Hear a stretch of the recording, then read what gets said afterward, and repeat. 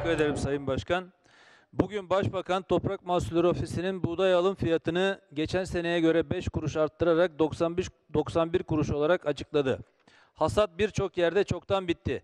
Borcu olan yüz binlerce çiftçimiz buğdayını 75-80 kuruş aralığında sattı. Başbakan müdahale etmeyi düşünmüyorduk. Biraz fiyatlar düşünce müdahale ettik diye övünerek 91 kuruşluk fiyatı açıkladı. Buğdayın maliyeti 105-110 kuruş aralığında değişiyor. Maliyetin altında alkışlar eşliğinde fiyat açıklıyorsunuz. Bu fiyat ve yapılan alım miktarı çiftçiyle dalga geçmektir.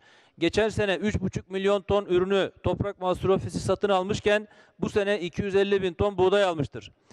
Paranız yok, buğdayı tüccara aldırdınız, üreticiyi yine düşünmediniz.